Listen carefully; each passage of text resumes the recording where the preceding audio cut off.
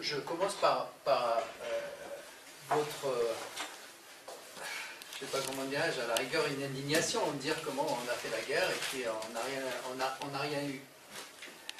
Et, et, et M. Abban a dit il y a que des Arabes. Moi, je suis un peu surpris. Il y a que des Berbères en Algérie, mais certes, il y a peut-être que des Berbères, mais l'idéologie arabe a pris le dessus. L'idéologie, c'est ça qui est important.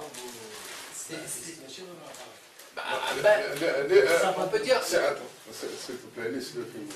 Donc c'est cette idéologie-là qui est, cette idéologie qui, de- qui est devenue dominante.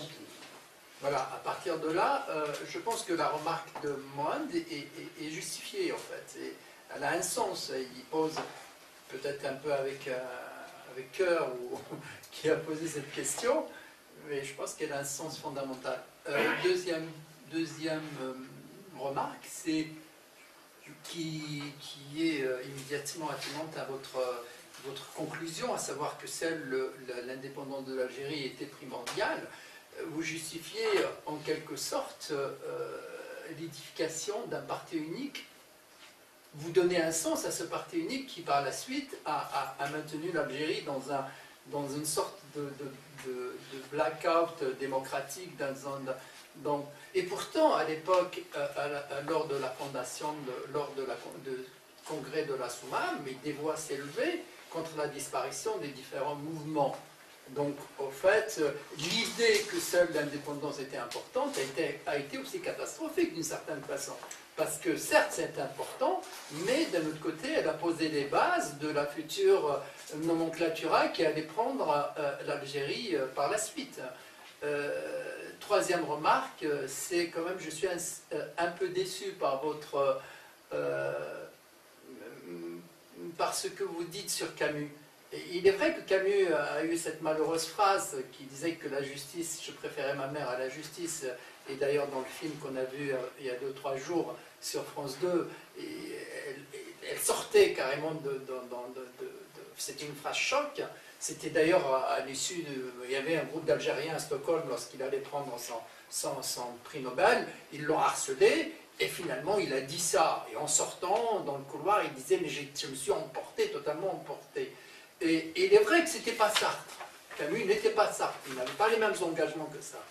Mais je constate que vous l'avez réduit à un simple positionnement par rapport euh, euh, à, au- à la guerre d'Algérie. C'était très difficile pour lui. hein. C'était un natif d'Algérie, il était un Européen, mais euh, de grâce, rendez aussi euh, euh, justice à son œuvre, hein, parce que la peste, l'étranger, quand même, ce sont des merveilles de point de vue musicalité linguistique, de tout point de vue. Donc ne réduisez pas Camus à ce simple.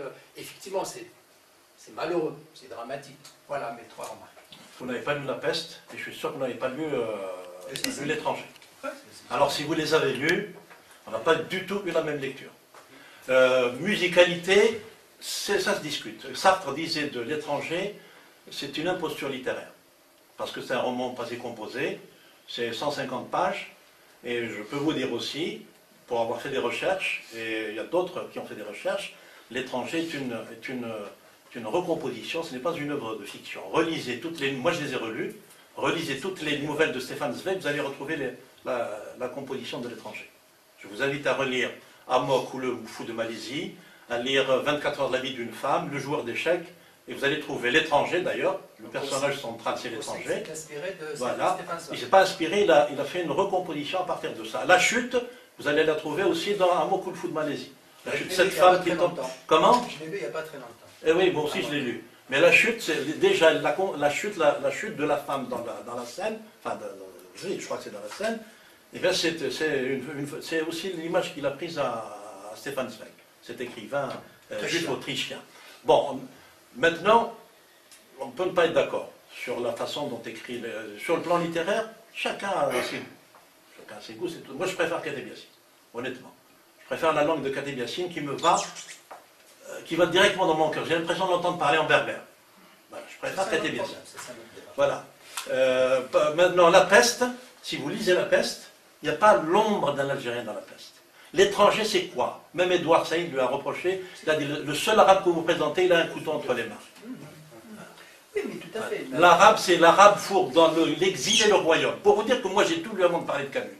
Dans l'exil et le royaume, euh, Janine, donc dans la, femme adultère, Janine qui se balade dans le sud, et il décrit cette, femme, donc, donc, il cherche quelque chose dans le, sud, et qu'est-ce qu'il trouve Il trouve des, des burnous. Il ne parle pas à des gens, les Arabes et des burnous. Les Arabes, les burnous, frôlèrent. L'Algérien n'existe pas. Faulkner, qui est un écrivain raciste, il a des personnages centraux des Noirs dans, son œuvre. Dans l'œuvre de Camus, nous sommes inexistants. Deuxièmement, maintenant, pour répondre encore à votre question, si vous relisez les chroniques algériennes, qu'on considère comme le summum de l'humanisme camusien, eh ben, j'ai travaillé à partir de ça pour rédiger cet article. C'est à partir des chroniques algériennes où il dit justement que les Kabyles pullulent comme des rats, enfin pullulent, il n'a pas dit comme des rats, ça pullule comme des animaux, il a, utilisé le langage du bestiaire. Maintenant, si, moi si j'étais français, je trouverais Camus bien, parce que je ne suis pas touché. Mais moi, en tant qu'Algérien, le choc que j'ai eu en lisant La Peste, en 94 d'ailleurs, je l'ai relu par la suite, 94 à l'époque du terrorisme, etc., c'était un choc violent. J'étais inexistant dans La Peste. Dans l'étranger, j'étais un couteau, j'étais un, méchant avec un couteau entre les mains. Voilà. Maintenant, ça se discute. Maintenant, ça c'est mon point de vue. Ça peut vous décevoir et c'est parfaitement votre droit.